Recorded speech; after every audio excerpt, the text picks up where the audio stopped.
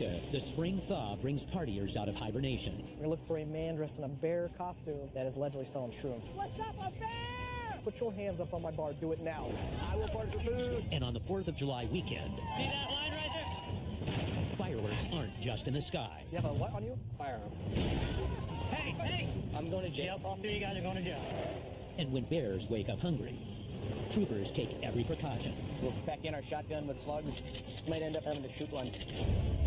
Melting ice There's two snow machines. They break through the ice. Two people. leads to a search and rescue in deadly waters. There's a good possibility that we won't find them. Hey, man, overboard! From patrolling the world's largest fishery There is one word to describe this fishery. Insanity.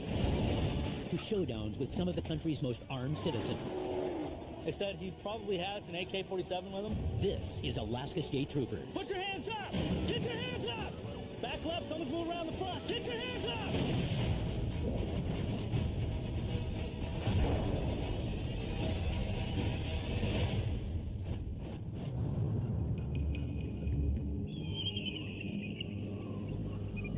Spring in Alaska's western frontier, where in the remote town of Bethel, rising temperatures still only mean 20 degree days and 8 degree nights. Not the type of temperatures to get lost in. Bethel PD has somebody that's lost. They were uh, possibly trying to walk to Kwethluk, and uh, she's intoxicated, sounds like. She said she's wet as well. So we need to, being that she's wet, we need to respond immediately. Trooper Dan Gunderson knows firsthand the dangers of prolonged exposure. Before I was a trooper, I used to be a teacher out here, and one of my students, he was riding a snow machine, crashed, and then was wandering around, and he froze to death. He doesn't want a repeat of that tragedy. The woman is trying to walk 11 miles across a frozen river. If she falls through the ice, she has less than 15 minutes before hypothermia can turn fatal. She's in an area that we can't really access with a patrol truck without getting stuck. So I'm gonna respond on the snow machine. The other trooper's gonna go out and be in the area. You go up in there and just come in, and we'll we'll maybe try to meet. Yeah. I'll- Don't do Okay. any. Don't get stuck, you know. But No, uh, no, no. I'll turn my lights on when I get to the top. Okay. Trooper Gunderson heads out on snow machine.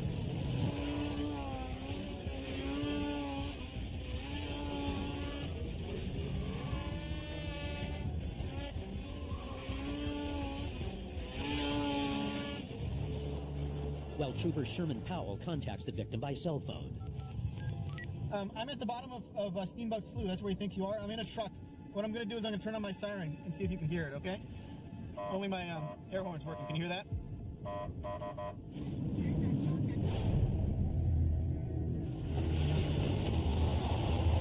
After nearly an hour, Gunderson spots a clue, a set of fresh footprints.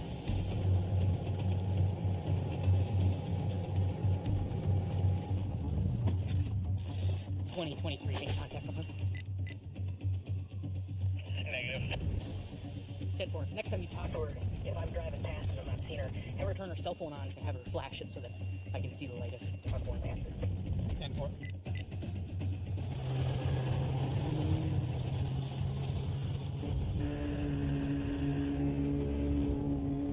But the traps lead Gunderson into immediate danger. Thin spots and cracks on the frozen river from the rising spring temperatures. The river is not yet fully frozen again, so you got really good ice right here. You got not so good ice on top of that, so then you'll fall in. Yeah, you can get in a, a lot of a lot of bad trouble really quick. Okay, I'm gonna go across. So hold on. Okay,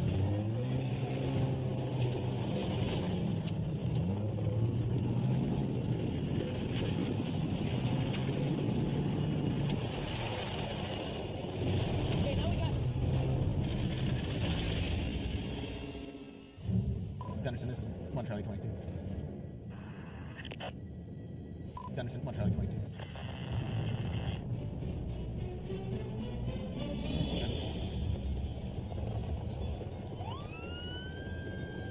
Gunderson, one Charlie 22. Gunderson, this is one Charlie 22.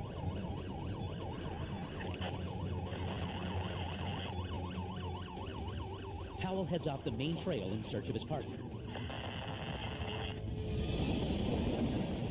But the deep snow stops him in his tracks. Now I shovel.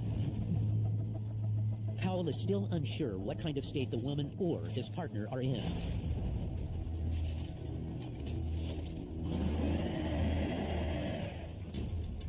He's stuck. Go forward just a little bit. Gunderson this is one Charlie 22. Gunderson, one Charlie 22. Gunderson this is one Charlie 22. 20, 23. I got her. 10 forward. 10 5 You're at the bottom of the hill. 10 4, are you going to continue down? Negative. It works. It looks worse up here. Okay, we'll, uh, we'll, I'll bring her down. Meet you at the bottom. All right, well, I'm all right. My feet are cold, but I can manage. Because I'm a survivor. Okay. I love to be outside. okay. So you're going to walk to Kwethluk? Yeah. All right, well, we'll, we'll talk about that more when we get back. Let's get Okay. you, let's have you sit on the snow machine real quick. I want to check your feet. But they're not frostbite. Okay, they're not frostbit? No. Okay. Because I could feel. Okay, yeah. Oh boy. Um, let me tie your laces so they don't Okay. fall off and then we'll get going. You know what? We got all this snow in here. Okay. Oh, boy. Uh, my Feels pants, like it's frozen, huh? Yeah, my pants are frozen. Okay. And it's not wearing snow pants. Yeah. I don't have hyper- hypothermia. Okay. We'll bring you to the hospital just to be sure, okay? Okay. They rush back to Powell's truck.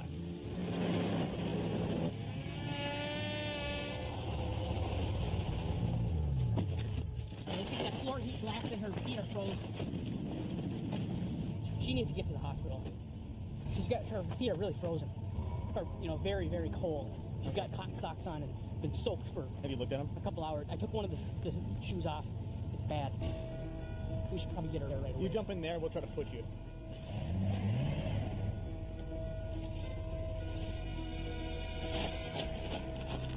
all the way down.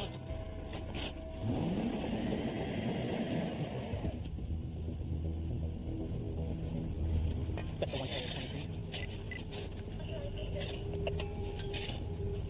Yeah, if you could have an officer respond, have him stay on the plowed trail. We can transport the victim to them via snow machine. Uh, don't want to really put him in the stuff out there. I'll have him turn on his overhead speed, please. Ten.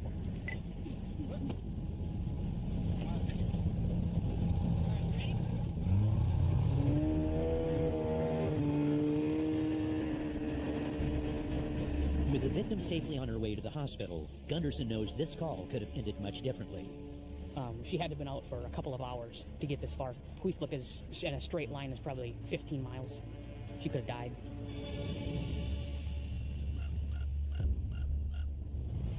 Four hundred miles east in the Mat-Su Valley, a rise in temperature means a rise in crime.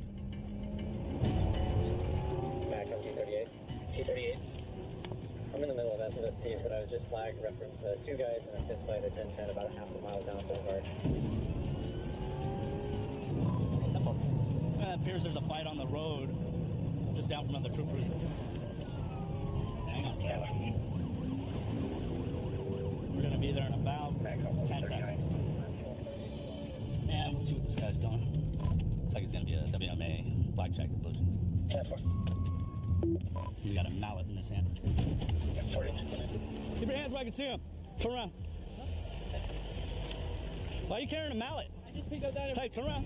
You got blood all over you. What's going on? Oh, my cousin just came up to me and started fighting. Your cousin came up to you and started fighting? Where's your cousin at? He took off in his car. What, ki- what kind? Come on, man. Don't lie to me. What kind of car? Green car. You have any weapons on you other than the, the knives and stuff? No, just, no. What's he dressed like? What's his last name? Big boy. Uh, Come on, man. Don't lie to me. What? I'm telling Come you. on over here, man. By the look of this man and his weapons, Trooper Josh Veris is worried the other man might be seriously injured. Can I have some? Why do you have a mallet in your hands I over picked there? it up at. You picked up because you were going to fight with him with it? No, no. Do you have phone number on your phone? Uh, Couldn't look it up. They call the other man's cell phone but get no answer. Any word on the other male half? Got an address for him? Have you sent someone there yet? Let's do that. Hey, you didn't hit him with this mallet, did you? no, no, no. And you didn't cut him with this this X-Acto knife? With each passing minute, Barris's concern grows. Reverse. So, is it looking more like uh, mutual combat then, or? All right, man. Thanks for your help. Bye. Okay, go ahead and turn around. Okay. Do you need medic medics? No, I'm fine. I'm fine. I'm good. I'm not. Nothing wrong with me. Nothing wrong with you. You got blood all over you, man. You sure you don't want medics? No, I'm fine. What are these pills for? Those are for my ears. I take it for my ears because. What are they? Uh, they're a type of. Uh, I think it's a Seroquel or something. I take those things because look at my ear. See my ear hole? Yeah. I got the thing growing out of it, and that's the only thing that takes pain away. How come the prescription on this bottle was ripped off? I, I don't have no idea. Are you prescribed these by a doctor? No. You're not. So how did you get them? Somebody gave them to me. Somebody gave them to you? Yeah. Okay. How much did you pay for? I did. She gave them to me. You know you're not supposed to have it if it's not prescribed to you, right? Uh, yeah, I think kind of know that. Yeah. Yeah, you do know that. Okay. Go ahead and have a seat back there. Now he's in possession of a controlled substance. So, fortunately, he's going to go to jail for it today, and I can explain it to a uh, judge and jury about why he can't get a legal prescription.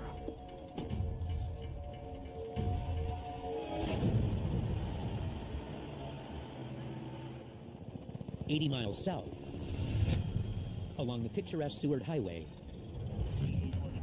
residents in the town of Girdwood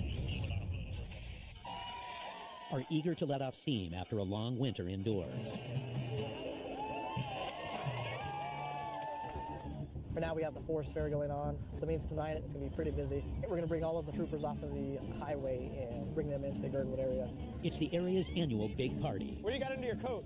but combining drugs and alcohol in the heart of the wilderness can be fatal. There are many people out here, and Girdwood has its fair share of bears, so uh, if they fall asleep and a bear happens to stumble upon them, I mean, you can imagine what would happen there. There have been multiple maulings in the past few months, so troopers are on high alert. But bears aren't the only suspects on the radar. That's one. Gotta go. Uh, we're going to go right over here to assist the trooper who is in a foot pursuit.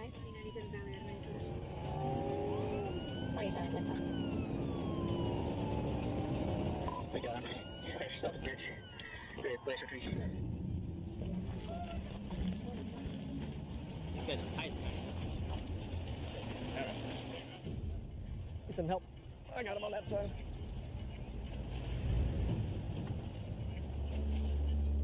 Without knowing what the man took, he could be in serious danger. Look at me. Come on. Walk to the car. Just walk. We're not gonna kill you. We're gonna talk to you. Nice and easy. Corin, come on. We're almost to the police vehicle. He was smoking something when we showed up. What was he smoking? This is marijuana. Whose bag is this? Is there anything here that I didn't know about? Uh-oh. So that's where all the mushrooms are coming from. Are you selling? So you need to explain that. Is that all that you're hiding? Are you on them right now? Yes. How many did you eat? I'm not sure. You're not sure. Have you been in this level of a high before on the shrooms? Yeah, Yeah. Has it been higher than this on the shrooms? yeah. Three. He's got 123 right there. They also find a stack of cash on him. Two. Basically, with this uh, amount of money here, uh, I definitely believe that he is out here selling. He may not be the only one. There's a guy walking around town in like a bear suit selling shrooms. Bear suit selling shrooms? Yeah. He's got like Okay. tattoos on his nose. Like Okay. that's weird. All right. Yeah, selling shrooms to people. All right, we'll take a look. We're gonna look for a man dressed in a bear costume. Hopefully, he's not uh, off in the woods already, and hopefully, he's still in town.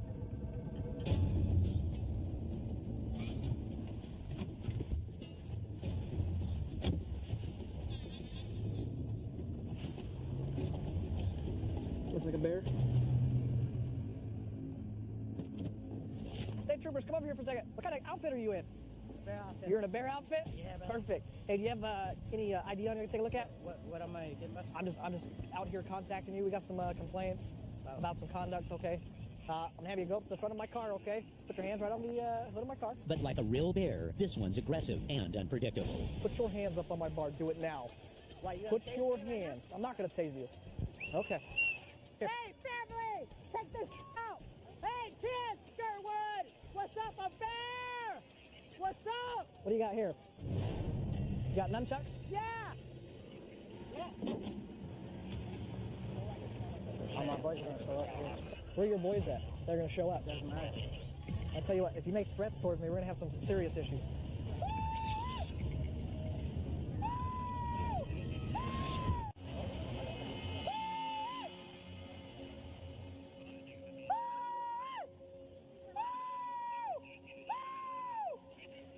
Don't yell, okay? You're gonna go to jail for disorderly conduct. Oh, really?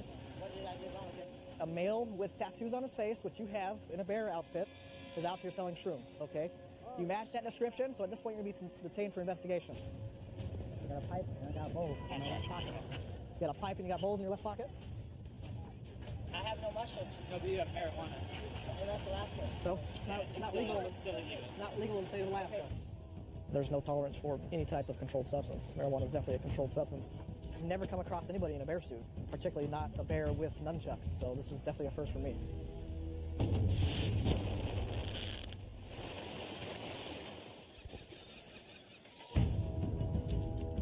Back in the Mat-Su Valley, encounters with bears aren't out of the ordinary for wildlife trooper Jimmy Lindbergh. Good go. We're heading to uh, Baldy Mountain. Uh, we got a report that there's a bear carcass up there, so we're going to try to uh, locate the bear carcass. Once we do that, we're going to try to determine how or why the bear died. It sounds like there's a gunshot wound to the uh, bear's chest. In Alaska, killing a black bear and not harvesting the meat is a serious crime and can bring a year in prison. This area that we're going up into, uh, it's a popular area for the local people to uh, bear hunt. So we need to be on our toes uh, every corner that we go around, heading up the side of the mountain. But heavily armed hunters aren't the only danger that Lindbergh must watch out for. Alaska State Troopers rescued seven teenagers last night after a bear mauling left four seriously injured. The grizzly tops Alaska's food chain, and in the late spring, after months of hibernation, coming between these 700 pound predators and a meal is a bad idea. This uh, bear has been dead for a couple days or a week, a uh, grizzly bear might be feeding on him.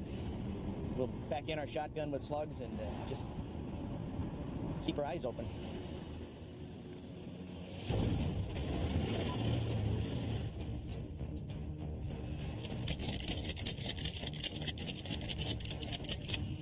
I'm putting slugs in here because they've got more knockdown power. Uh, I've got a better chance of, of knocking a bear down with a slug than I do with a buckshot.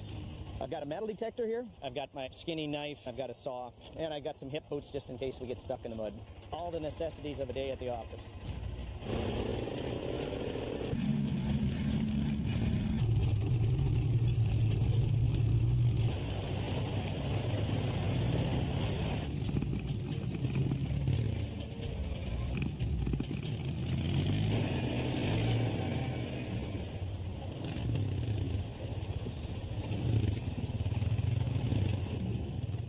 Uh, no, that, that's moose. Yeah, I was thinking it might have been bear, but that's that's some old moose tracks there. The gentleman that uh, saw the bear said it was uh, in this general vicinity. We should be able to smell it.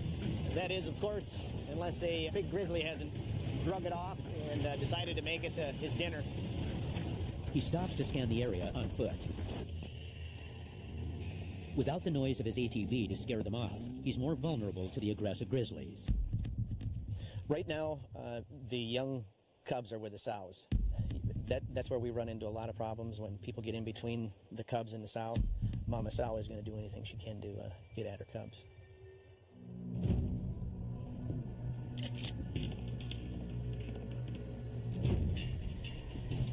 One thing you really need to be cognizant of is that there are a lot of wild animals up here. You just need to make sure that they see you we should be smelling something. Deep in the forest, he reaches the ultimate bear lure a bait station. So he's got a combination of salt and sugar. You can see the moose tracks in here. This entire area was covered in dog food and meat. You can see where they poured molasses all over the tree here. With all this alluring bait, a bear is likely in the area. It could be ugly. Might end up having to shoot one. It's the last thing I want to do is shoot a bear out here, but if it has to be done, we're in the right spot.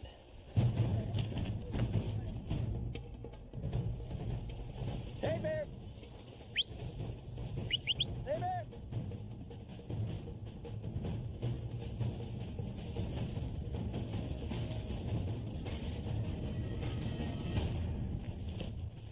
I'm thinking a grizzly came and pulled it out of here. Probably down over this hill. He finds no sign of the black bear carcass and heads out. I certainly would have liked to have found it and find out how it died. It's frustrating. But it's all part of doing what we do. I'll remember this place next year and, and come back.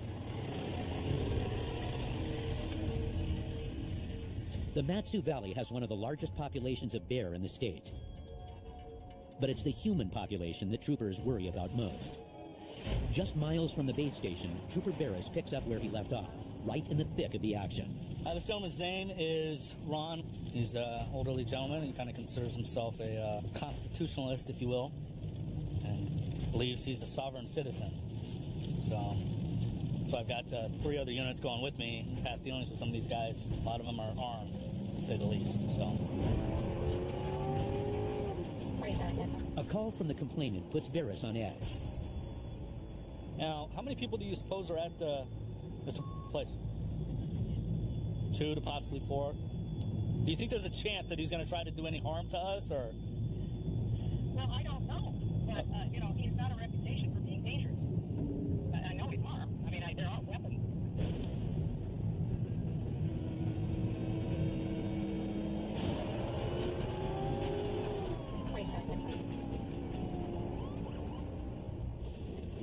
Barris meets with two other troopers to formulate a game plan. He's at the house, from what they think. They said he probably has an AK 47 with him. That's all we got. We're going to go to the complainant's house. He says it's about 150 yards down his driveway. He says there could be two to four people at his place right now.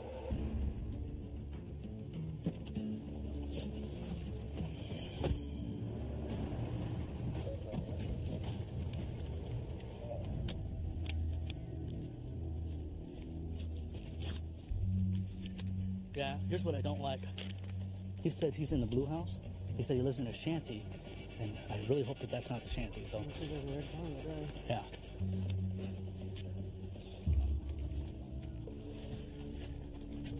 Yep, that's it. Doors open on the trailer.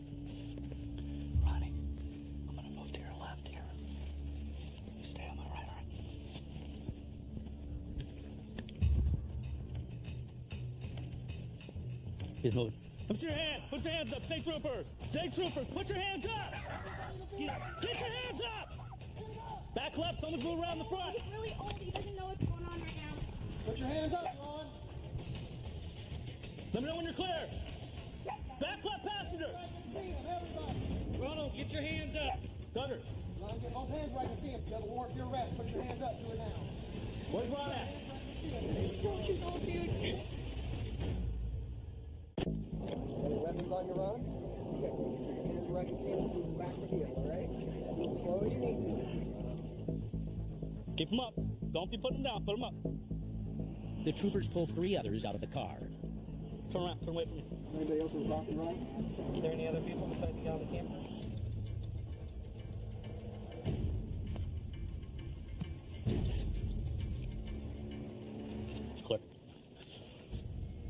Nobody else inside your house, sir?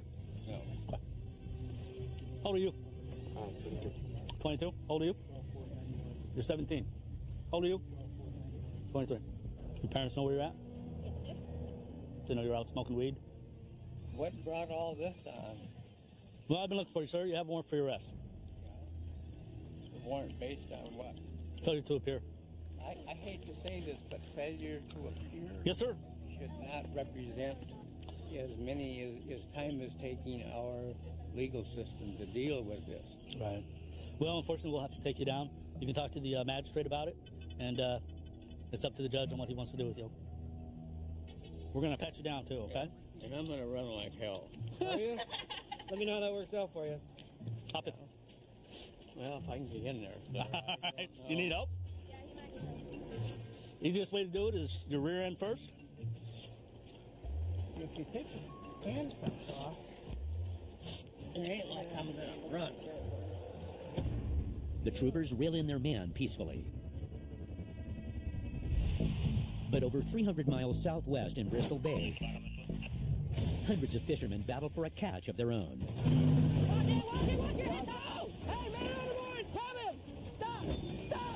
Bristol Bay is the largest sockeye salmon commercial fishery in the world. There is one word to describe this fishery insanity. With up to a quarter million dollars on the line, some fishermen will do whatever it takes for their share of the money. Get it quick! So the Alaska State Troopers are out in force to protect the fishery. They're there to make money, and if there's a way to make more money, they're going to try.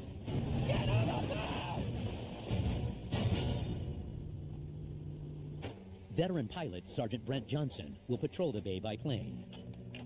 But a dangerous storm front looms. So we've got a storm coming in, forecast anywhere from 25 to 40 knot winds. But we go out no matter what the weather is.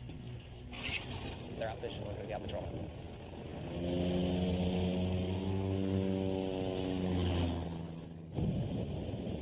We're gonna have to see. We might not even be able to get out over the water. They move in like a freight train, so you gotta make sure you give yourself enough time to turn tail and run back home before it gets, catches you. They know that we obviously can't fly when the weather gets too poor, so if the weather's marginal, it's usually the best time to come out and do this.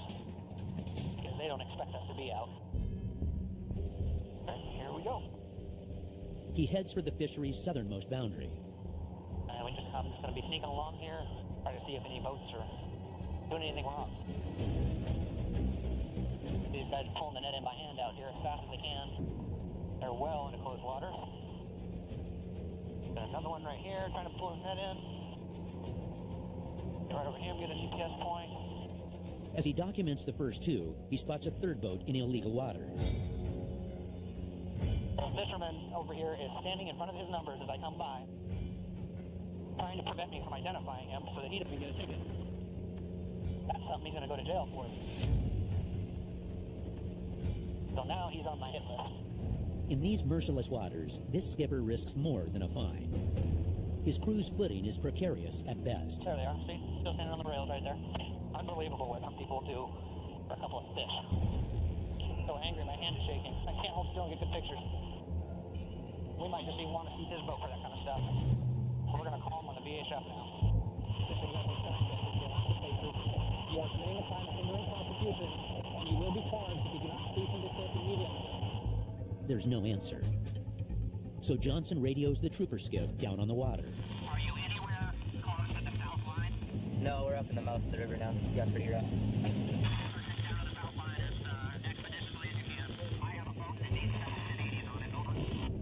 Uh, That's it. We'll work our way down there. It's all fine, man. yeah, it's going to be a fun afternoon, man. What we're going to do is we're going to go and seize the net. We're going to seize this whole hold worth of fish. And uh, the two crewmen are probably going to get put in prison. Well, it looks like we got what they call a squall coming in. Looks like it's working its way in pretty fast. We got a small craft advisory, which means anything under 25 feet. They recommend not to be out here, but uh, we don't have much of a choice. It's our job. We got to come out. If they're not careful, they could end up in the frigid waters. Up in the plane, the weather's also causing alarm. It's getting real hairy here pretty quick. Kind of a race right now because I've got fog coming in over the water about a half mile from me. And I've got to get out of here before the fog gets here or bad things can happen real quick. If he leaves before Van Spronson arrives, the suspect could get away. But the storm's moving in fast. This is extremely dangerous for me, flying around here in circles. And he's trying to play games and stand in front of his number. Not much makes me mad out here, but this makes me all for some fish. You're going to risk my life. He radios Van Spronson for an update. Oh,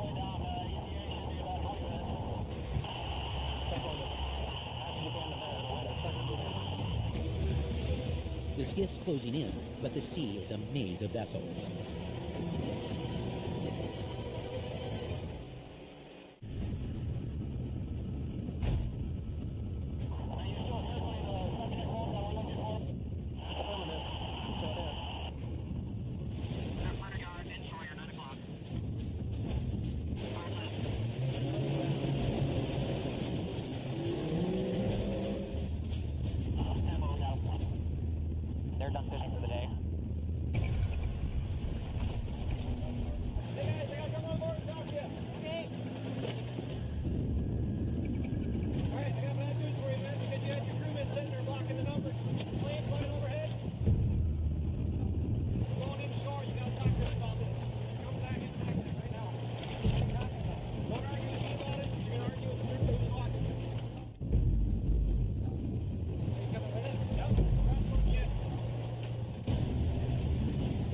Two hours from shore in treacherous waters, and Vance Bronson is outnumbered four to one.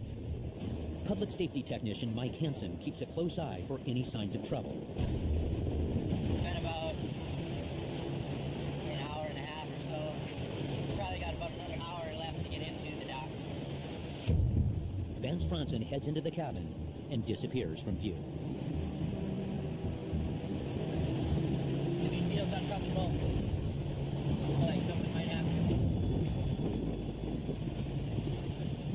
On shore, Johnson anxiously awaits the vessel's return. I don't know where they are.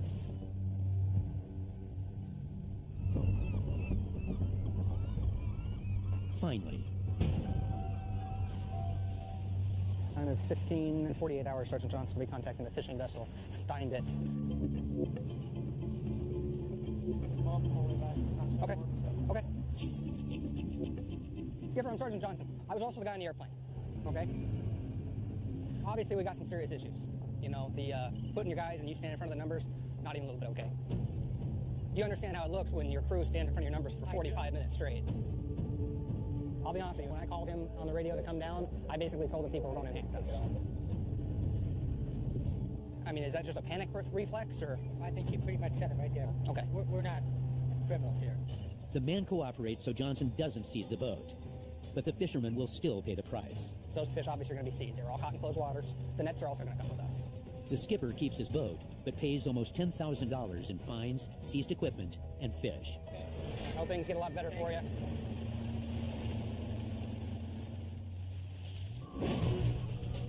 Back in Bethel, Sergeant Teague Widmeyer is on the hunt for a wanted felon. We're heading up to Kwethluk, and it's a village of about 800 people. I have a warrant arrest for his involvement in stealing a Bethel Police Department vehicle. They stole it and gained access to the guns inside the vehicle and began to shoot off rounds. But in order to get his man, Widmeyer must cross the ice road, Bethel's main river that's frozen eight months out of the year. Right now, we're on the Kuskokwim River. The ice thickness right now is probably about five feet, and the water's still flowing underneath of us. His patrol vehicle weighs close to 5,000 pounds, so a soft patch could send him plunging into the freezing waters below. You have to be very careful when you're traveling because it, it's deceiving. Some of it may be deeper than what it looks like, so you're driving along and you may end up going under two, three, four feet of water. In this remote part of Alaska, Widmeyer's hard to miss, and often locals tip each other off when troopers approach the village. Once we start passing people and they're communicating on VHF, they'll let everybody else know that the troopers are on the ice road. The man he's after has a history with weapons, and if he gets word of Widmeyer's arrival, it could get dangerous. We've reached the village of Kwethluk, and this is the what they call a downtown.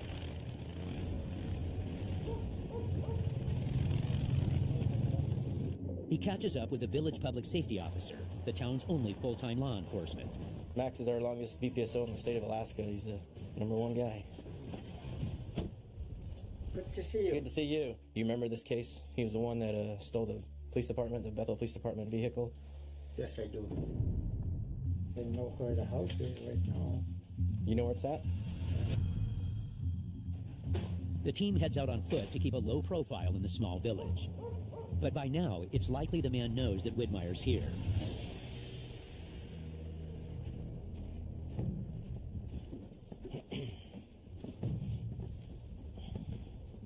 Sergeant Widmeyer, I was looking for.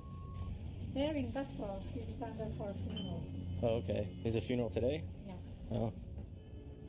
His aunt passed away a couple days ago, and it's a culture sensitive thing to not interfere with uh, funeral settings that are going on. He's not going to be going anywhere. You know where he's at. We'll talk with him another day. Widmeyer takes the remaining time on patrol to check up on the locals. Hello. How you doing, ma'am? Here's a pipe. It's pike. They're drying out their pike.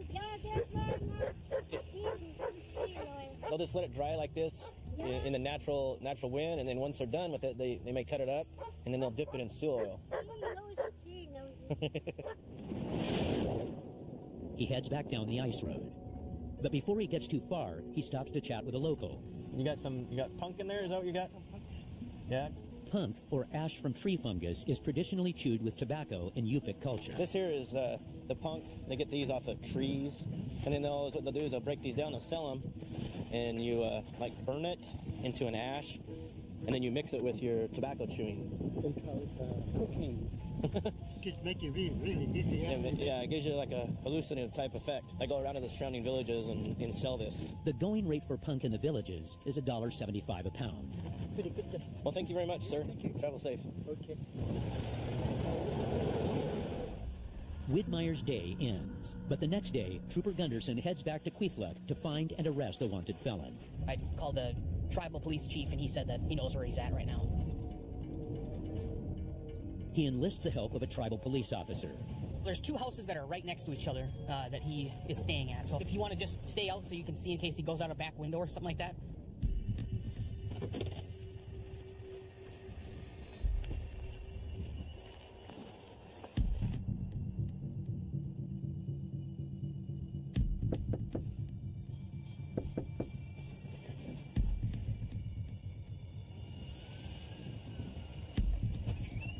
How are you doing? Do you know why I need to talk to you? no. All right. Well, I guess sir, we got a warrant.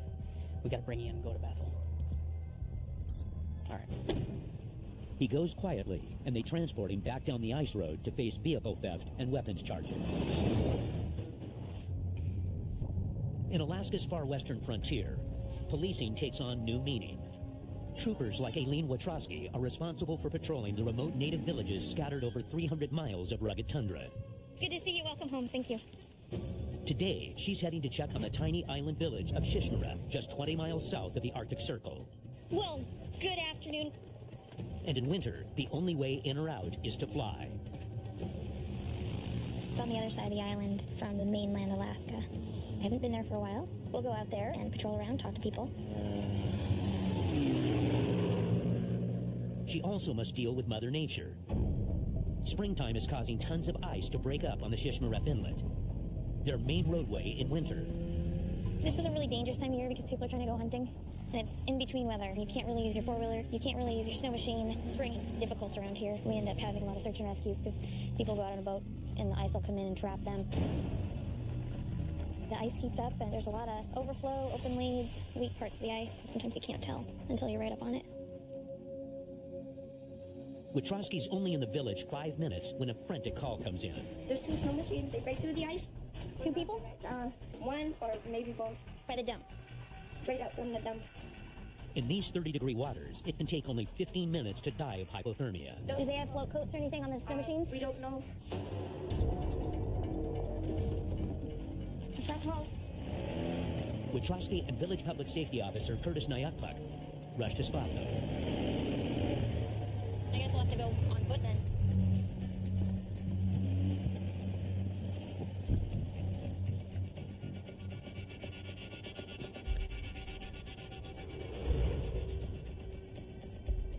We got a report of possibly two snow machines, one that broke through the ice around here. Almost 10 minutes have passed. The victims could be anywhere.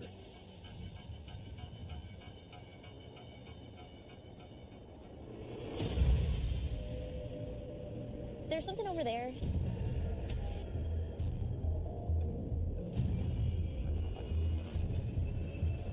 Did you guys hear that?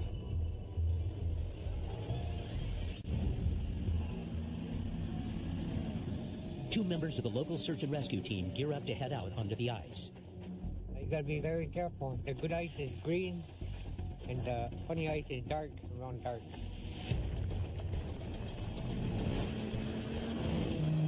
They scour an area notorious for trapping people under the ice, knowing one mistake could cost them their lives.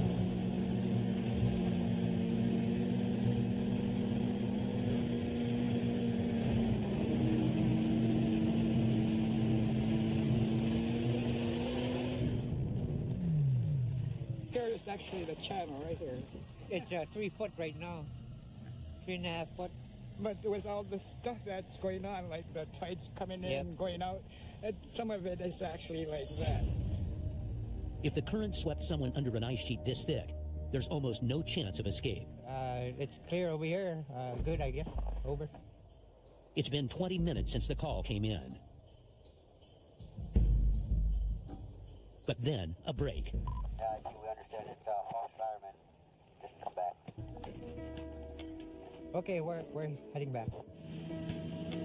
The distress cries reported weren't human.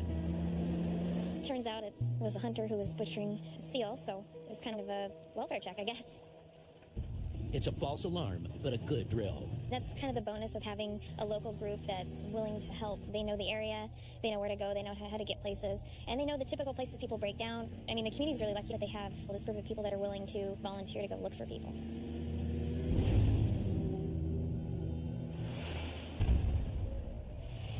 From one of Alaska's most remote locations to one of its biggest party destinations. Almost 650 miles east, 4th of July weekend draws thousands of partiers to the Kenai Peninsula.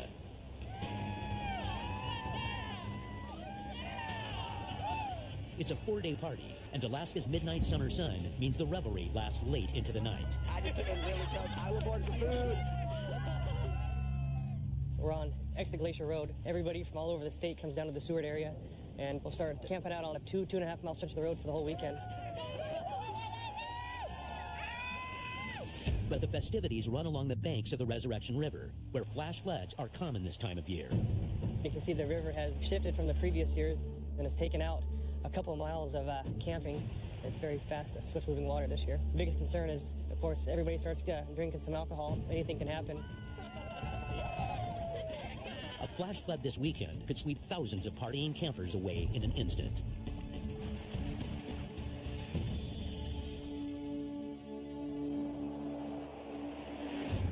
Up the road, Trooper Daryl Christensen is putting out fires literally. Nice. I don't know what that is wrapped in it. Damn. It's just the tip of the iceberg for this weekend. They want to kind of push the envelope a little bit, come up to the roadway, and see if they can do something to get our attention. I think he's bluffing, man. Yeah. Simple solution is that. You want our attention, you'll get it. Okay, I need everybody over here for me. All you guys over here. Yes, Make sure you're out of the road. I don't even feel comfortable driving 30 miles an hour on the road with all the people standing by the fog line. But not everyone's as cautious. How we doing, guys? The reason why I pulled you over you're driving 44. You see all the, a lot of the people standing around the roads? Yeah. Majority of them are intoxicated. Yeah. And if they step out in front of you, you're going to clip them. So, you got a driver's license? Yeah. How about all you guys? You got IDs on you? Where are you guys from? He soon discovers that no one in the car is 21. How much alcohol's in the vehicle? None that I know. Okay, I'm going to guess there's a case and a couple bottles. Tell me if I'm wrong. Yeah. Yeah? Uh, you know it is a misdemeanor crime to provide alcohol to minors? Yes, sir. I'm a minor myself. Uh, we're gonna we're gonna deal with that. You want to pop the trunk and let's take that out of there.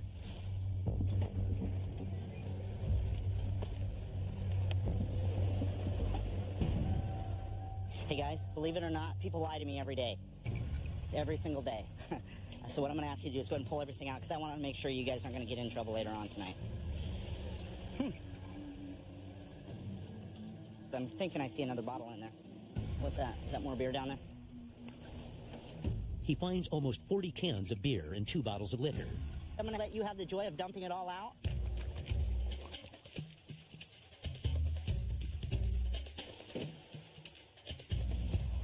Sounds like you guys are turning around, heading out of here? All right. If it was innocent fun, it wouldn't have ended like this. All right. They get off with a warning, but the weekend's over for these campers. And it could be over for everyone else, too. The river's actually quite above uh, its normal levels, and they're watching it rise, and they've watched it rise the last couple hours. They said if it gets uh, too high on the roadway or up to the roadway, they're going to actually evacuate the uh, federal campground behind us. In Alaska, hypothermia and that kind of water will set in very, very rapidly. So we might just stop and talk to some of the campers because uh, some of these could very well be underwater here in the next couple hours if it keeps raining here. Hey, the river's coming up still? Oh, really? Come up like a lot more? No, they're saying it's already coming up upriver. I expect that most of behind there is going to be underwater here. Uh, yeah, we appreciate You know what I mean? I want you guys to go to bed and wake up downriver. These out of towners are lucky Sergeant Roberts came by. But the flood threat doesn't spoil the party downriver. We're gonna get out here and contact these these kids. They're already starting their night early. Hey guys, you guys, you guys need to clean up a little bit here. Looks like a dump. So what's the concept behind this game? Oh, this is just a pool. That's just a pool. Okay, that's pretty nasty. Do You guys have your IDs on you? I have my can see your ID. IDs. though. Do you have your I ID? Can I see that?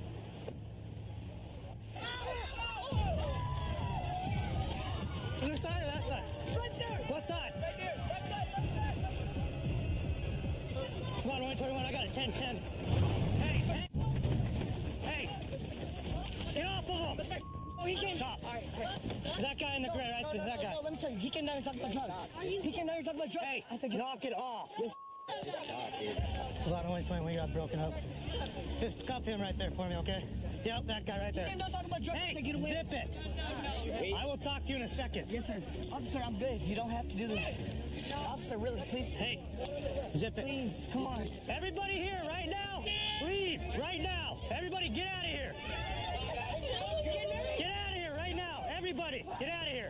You guys do not disperse. You will go to jail. So leave. Leave right now. What happened? We came up From the very beginning. We came up here, and then that kid started punching him, and I, I was wondering what was going on, and I asked them what was going on, and then he started punching me too. So This is what I saw. I saw coming after you, and I saw you getting up, going after. Okay. Because you I saw you guys. me. Okay, I saw. I saw you guys intertwined. So what happened? Uh, we walked up the road, and all of a sudden, uh, we got our asses beat. All right. We were chilling by the campfire. He comes down and he's like, who, who got some cocaine? I was like, get the out of our campsite talking about cocaine. He was like, what? You want to start some I was like, I'll, I'll fight you right now if you want to want to cause trouble, problems at my campsite. We're trying to drink and have a good time. I'm gonna haul three all out of here. All three of them. Okay, here's the deal. All three of you guys are going to jail for disorderly conduct. What? Okay. I'm going to jail. Yep, all three of you guys are going to jail. Okay. Really? We- we- I told you, no tolerance. These seats two need to go in one vehicle together. And then that guy needs to go in a separate vehicle than these two. They all threw punches, and they're all going to jail for disorderly conduct.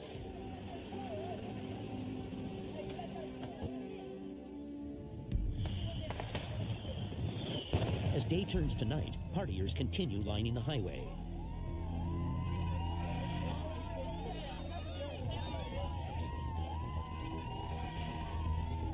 And with the threat of the rising river, they're in no condition to evacuate. See that line right there?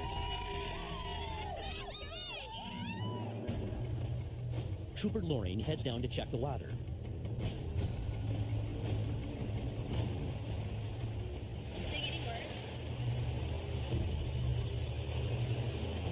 I, I don't think it's changed much. The river's holding steady for now, but Loring comes across a man dangerously close to its waters. What happened underneath your eye there? It's really treacherous along the creek. So you fall and hit her? Yes, I did. Need need a medic? Any medical assistance? No. If you guys would like to help me, you can give me a ride about 70 miles that way. Yes, Anchorage? I live in Anchorage. How are you expecting to get to Anchorage? You see these two You're not walking to Anchorage tonight, I'm buddy. actually walking. If you plan on walking to Anchorage these 70 miles, you're gonna get tired, and you're probably gonna lay down, and you're drunk, and maybe possibly get hit by a car. You see where I'm coming from? I've owned about seven Crown Victorias. And you know, I've, I've owned them from 56 and... Okay, well we aren't going there, but where's your you know camp? where I bought Where's, them from? where's your? You know what? You guys sold them. You guys sold them about a month ago. So that- Okay, well come back here with me. Sergeant Roberts keeps an eye on him while Loring checks the man's ID. Ten four. Thank you. You put it in there, please? Would You please? can do that. You can do that. Here, put, put it in the middle. I'm not touching it. Put it in the middle. Just drop it. Thank you. Just Get- drop it. Hey, get your- get your license. Yeah, thank you. Ready to go? Yeah, uh-huh. Are All you ready to go? Bye. See you. Bye. Bye. Oh, he's done. He's done. I was just blowing snot. Right, on- yeah, I didn't why'd you blow the anything. snot on the trooper car? Dude, I didn't blow it on the snot. I didn't blow it on your car. I blew it on the ground. It wasn't on your car. He did it on his car. No, All it wasn't on your it. car. Yes. Yeah. You can play the It wasn't on your car.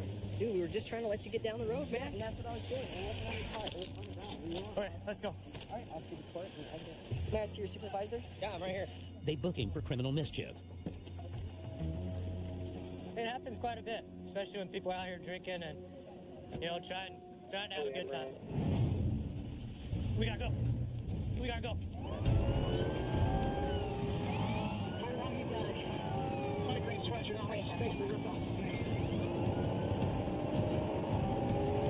We got a guy that had a, I believe he fled from the vehicle.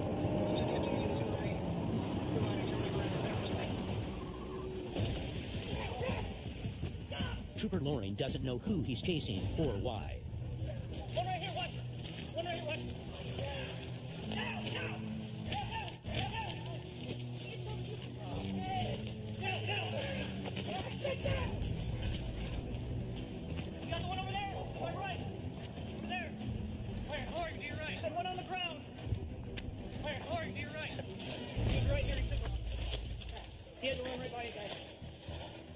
Suspect escapes, but Loring goes to get more help. All right, where I was sitting, they all went back in the woods, but I'm sure they're going to come out soon again.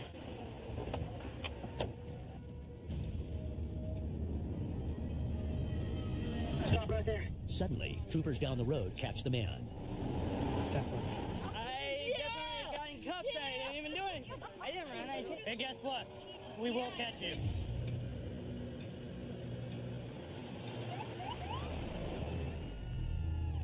As the night wears on, the partying escalates.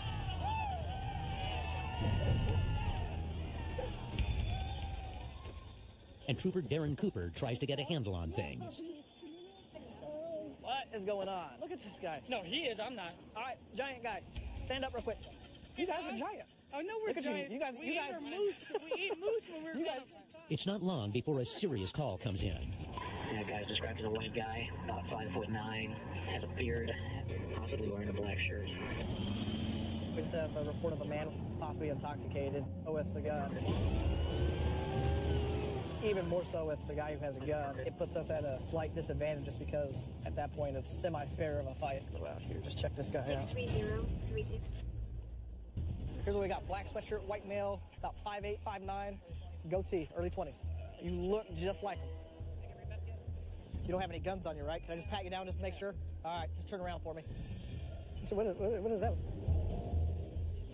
Something with a something with a pipe in it? No. You mind if I take a look?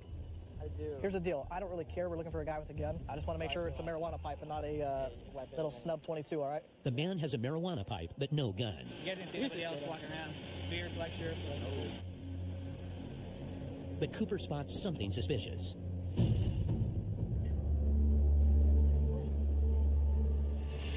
Hey, come here for a second. Where are you coming from? Uh, party over there, yes. All right. No guns on you, anything like that? I actually have a firearm. You have a what on you? Firearm. All right. Take your hands out of your pockets immediately. 53, 57, 10 I keep it for bear safety, man. You keep it for bear safety? Yes, sir. All right. All right.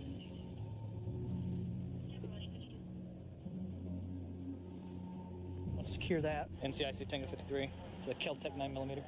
That's a 9mm. What are you trying to tickle the bear? No, it's just bear safety, man. Bear safety. Yes. The nine mils is gonna do nothing to the bear other than make it upset. How much you had to drink tonight? Uh, a lot, actually. A lot? Yes. Okay. Can you please take these off me?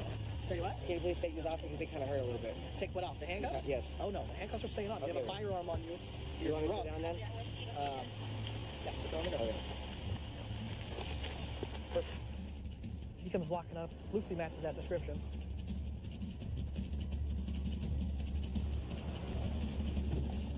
Another officer arrives to identify the gunman. Please tell me I'm not getting locked up. Is this the guy? Based on their description, similar, but this isn't the one they were talking about. I'm gonna say right now, I'm trash. I know. I just didn't know where you're at. Okay. All right. Slow and keep going to stop. Keep going. Keep going. All right. There we go. He's not the man they're looking for, but he's not going free either. You can't possess a firearm and having consumed alcohol, so he's gonna go to jail for misconduct involving weapons of the fourth degree. It's a 9 millimeter. It isn't gonna hurt him too much. It scares. It's loud noise. It, it keeps the bears away. When alcohol and guns mix, bad things happen, so we're just keeping in mind our safety and we're trying to go home at the end of our shift. After four long days, the 4th of July festivities wrap up. There's only remnants of trash, and a lot of it's bagged up, and a few places, few campsites were left in disarray.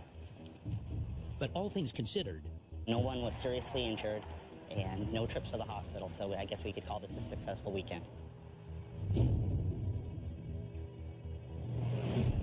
One hundred miles north, on the Little Susitna River, the 4th of July has wildlife trooper Sergeant Doug Massey on high alert for a different reason.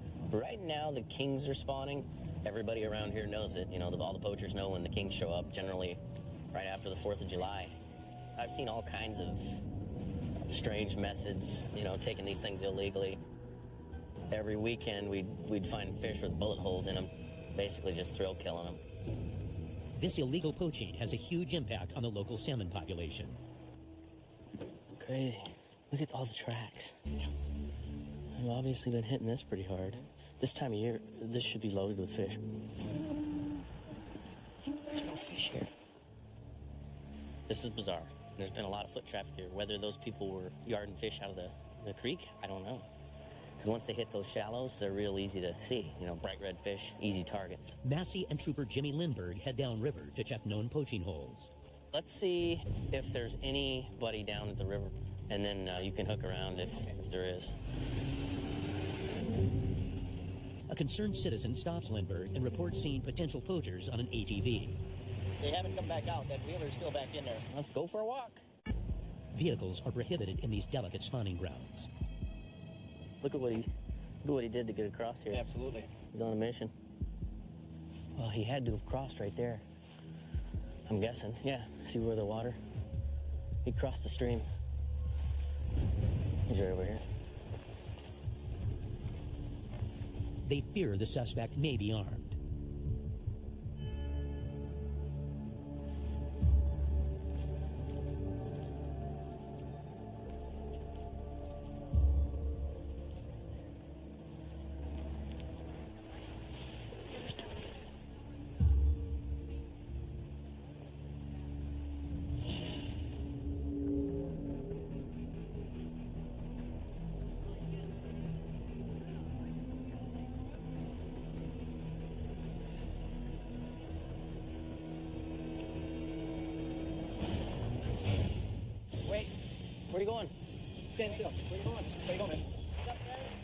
Guys ride in here together? Yeah. Okay. It's gonna pat you down for any kind of weapons or anything, okay? What did we do? You guys crossed the uh, crossed the, s- the Well, stream I- or the river here. I didn't cross no stream. or Good, river. good. Okay, how did you guys get over here if you didn't just cross that We stream? drove Good. through the woods, so we'll down the trail. Really? Yeah. I don't know what the hell we did, but Well, you crossed the river there, and uh, you also you also that's tore your wheeler up. that's. You're not allowed to cross any water, any part of even water. Even if it's just like something like this, This is all salmon stream. crazy. That's been like that for a long time. I'm uh, smelling a real strong aroma of marijuana. Tell me about that. What is that there? Oh, that that was the only got one. It was. Yeah. It was here when you got here. Boy, it's awful cold for sitting out in the sun for a while. So, this is yours? Yeah. It is yours. Okay, that's, that's what you're saying. Okay, go ahead and just back off a little bit for Because of the strong scent of marijuana, troopers search both men's backpacks. Did that have weed in it? I honestly don't know. Yeah.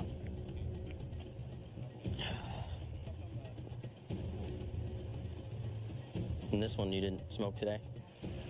Um, earlier today, yeah.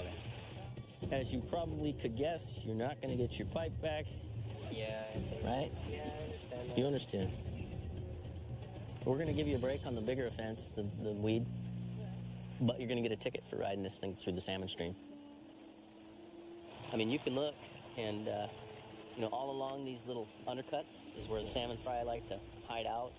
This may not seem important to him, but it is. It's it's really good fish habitat. Trying to protect these few remaining fish that are going to be what we get, you know, four or five years down the road. It's pretty high priority. So uh, that's the reason we're out here and we take this part so seriously.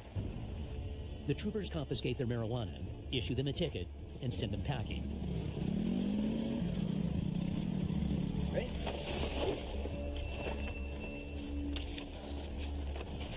Easy going the other way. But Massey's job isn't just conserving wildlife. Down the road, he makes the leap from protector to enforcer. Did you see what that guy in the car was doing down there? I'm gonna go down there and. What's happening? Is this your property? No? No, it's actually private. Did you see the sign over there? Oh. Yeah, you got any ID on you? No. A run of the man's name turns up two years of probation for selling marijuana. I'll just ask you right now, do you have some on you? Probably a shame. You don't? No, I don't. Okay. What do you got in your pocket right there? This. This one? Yeah, what is that? Tobacco pipe? Oh, Can I see? Oh, God. That doesn't smell like tobacco. You got marijuana on you? No. What is that? Is that for fighting? No. Is that like a brass knuckle or something you beat people with? Why you got that? I just found it in the car. I was cleaning the car out. I stuck it in my pocket. Now I wish I wouldn't have.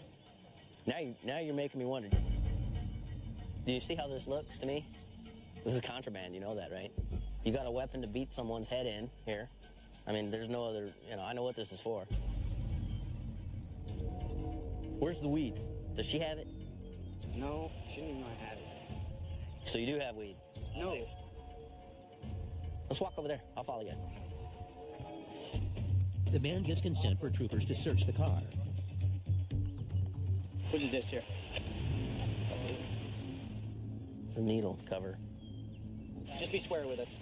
I don't- I don't like Is- You guys shooting speed or crank or uh, meth or heroin or anything? I don't do drugs. I had a bunch of people in my car the other day with probably from them.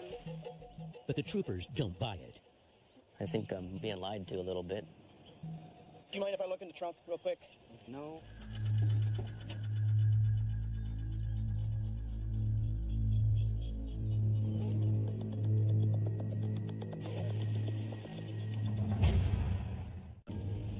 Hmm. What do you suppose this spoon is used for with all the white powder on there and the burn marks there?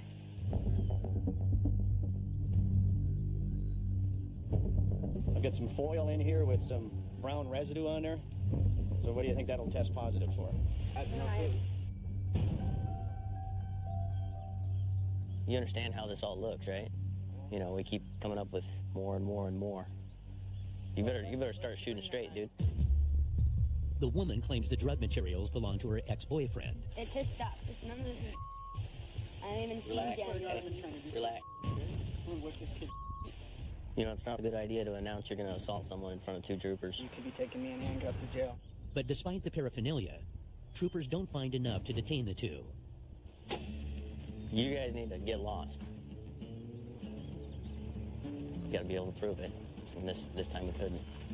He thinks he, he got away with it this time, but we'll, we'll get him next time for sure. Massey's patrol along the river's edge continues. The Little Su winds through the heart of one of Alaska's most crime-ridden areas. And just miles down the road, A little while away in Copper Creek. Zero.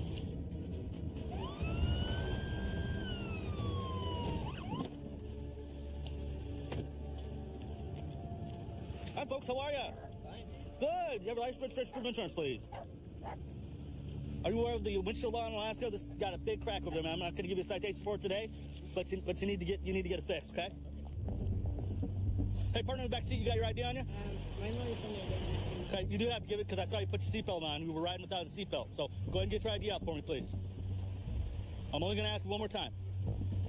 Everybody else, keep your hands where I can see them, please.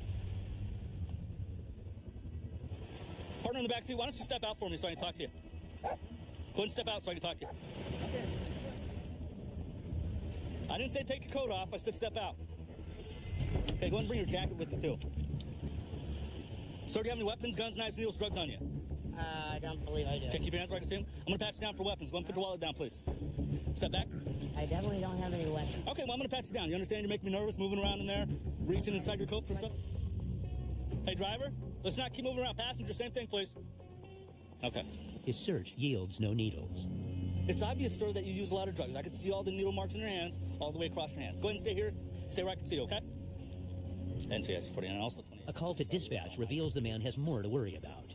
He has a warrant for failing to appear in court on a previous DUI charge. Put your hands behind your back. Yeah. You have a warrant for your arrest. Understand that? Yes. Go ahead and hop in the car. Watch your head and have a seat, please. I know how to do this. Yeah, maybe the dogs get arrested. With one man in custody, the situation escalates. Your buddy is going to jail for a warrant. Does he have any drugs that he stashed in the car? No. Okay, I need you to be really honest with me here because this is going to go somewhere else. Do you mind if I search for drugs then? You want me to look in the car? I will look in No, the car. I'm not going to have you look in the car. I have enough probable cause to seize the car right now and apply for a search warrant. Okay? That means I'm going to take the car, get a tow truck down here, and you guys are going to walk. Or you can let me search the cars. No drugs in this car. Okay. What I'm going to do is I'm going to ask you one last time. It's a yes or no, sir.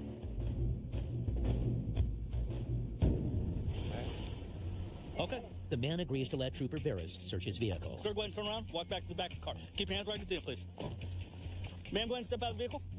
You go ahead and turn around. Put your hands behind your back. Find anything in the car? You know where it came from.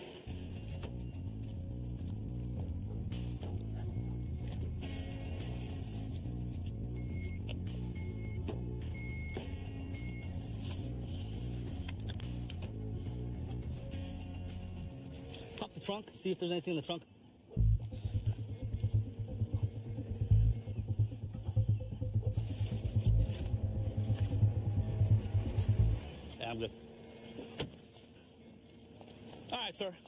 Much alcohol have you had today?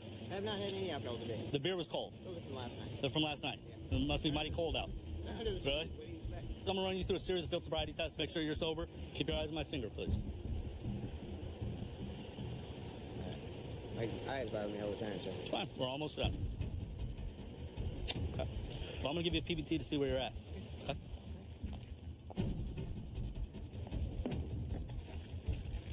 Take a deep breath, through your left hand, blow. Keep blowing. Blow, blow, blow, blow, blow, blow, blow. You're not blowing, sir. I was blowing. No, you're not. There's a flow meter on here. Okay? Deep breath and blow.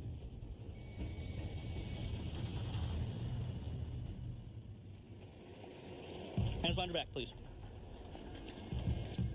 So you're under arrest for DUI. That broke. 141 lot.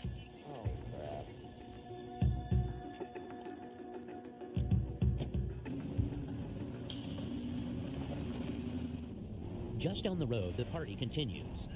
So dispatch just called us. They said there's a intoxicated male sitting on his porch. He's cussing at children and um, call, trying to call out his neighbors to come fight with him.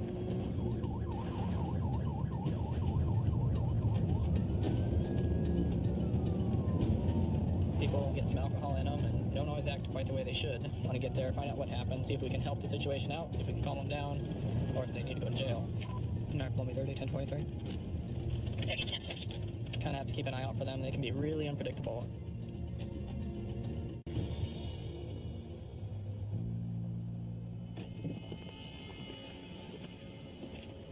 I'm Trooper Ray, State Troopers. How you doing today? That's fine. That's good. Yeah, you doing okay? Doing fine. Okay. Hey, we got a complaint that you're out here yelling at some kids and swearing at That kids. is not true. Okay. I did not yell at kids. I yelled at the people over there because they're Sir, do you have some ID on you that I can see real quick? right here. All right, you ain't got any guns, knives, drugs, anything like that on you? No, I ain't got. Got some oh, scissors? No, that's my. That's Yeah, just how drop those on the ground. Beer out. That's how I get my beer. Okay. Um, How much you had to drink today, sir?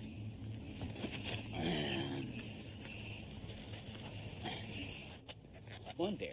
One beer? What are you upset about? You see the in my yard? I do. Okay, that's not my dogs. That's their dogs. Okay. Let's say they're ganging up on me. Him, right? Oh, hi. How you doing? He comes out. Sir, right now, now you're being too loud. All right. If you keep being loud, I am going to arrest you and take you to jail. All right. Oh, that's fine. So you're causing a disturbance to your neighbors. Guys, you're all in bed together. Would you be willing to blow into this for me? Yes, go ahead. Okay. Go ahead. The man's breath alcohol level is 0.238, meaning he's likely had at least 10 beers. Go ahead and stand up for me, okay? You're kidding.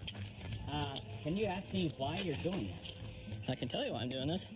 Is that you're continuing, even when I'm here, to be belligerent, to yell at your neighbors? Now you're going to cause ge- healing. Stand still, right here, okay? I'm going to sue somebody pretty good. Five hundred fifty miles northwest near Nome, hundreds of native villages are separated by miles of Alaska's harshest terrain.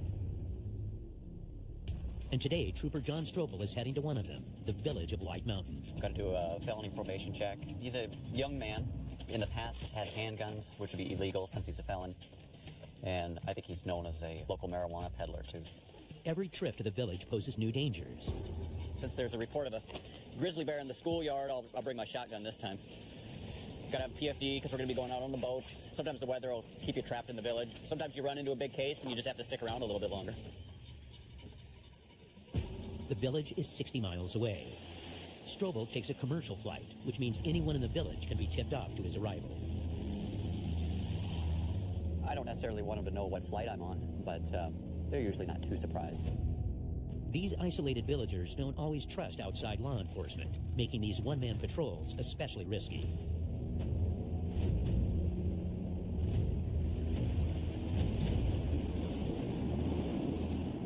Cheated death once again.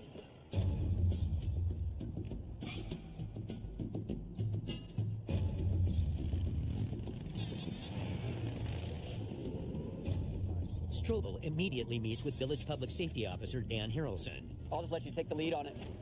And they head straight to the probationer's residence.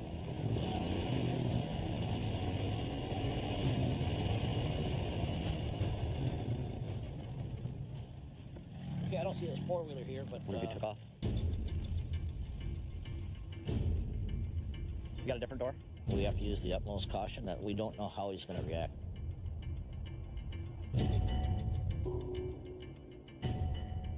Up around the corner.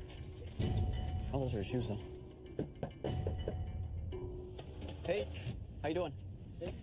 Hey, we're gonna come in. We got to do a probation check. Probation officer wants us to search the house for any alcohol, drugs, or firearms. Do you have any of that stuff? Because we're gonna look, and if we find something, we just don't want to be surprised. Just let us know. It'll make you know that way we can get out of here quicker. A preliminary search turns up alcohol, marijuana, and unmarked pills.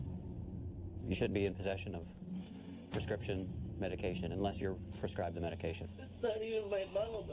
Okay, well, where'd you get it? He says he got the pills from a friend in exchange for some marijuana. You know the rules, man. No dope, no alcohol, no guns.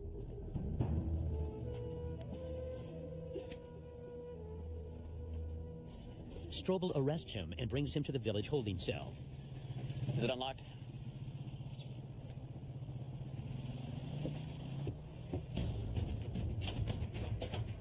Then he heads out to find the man who traded the pills for marijuana.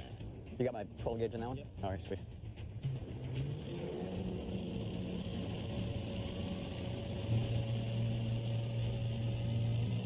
Our ice just went out in the river here a few days ago. You'll notice there's ice chunks going down the river. These mini icebergs can rip their small boat wide open and plunge them into ice cold waters.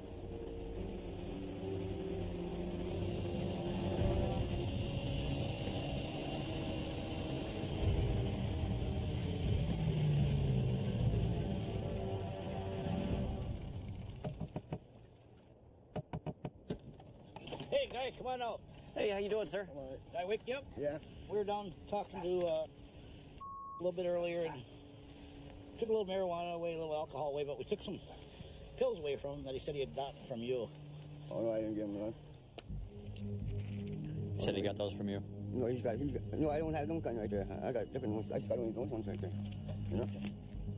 I don't have any more. You didn't give him those and he gave you a little bit of pot? No. We're just trying to confirm whether or not what he's saying. Be honest with you, because we already got the story from Okay. What happened?